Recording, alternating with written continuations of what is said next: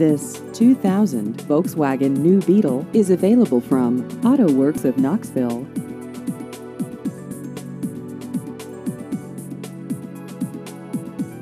This vehicle has just over 88,000 miles.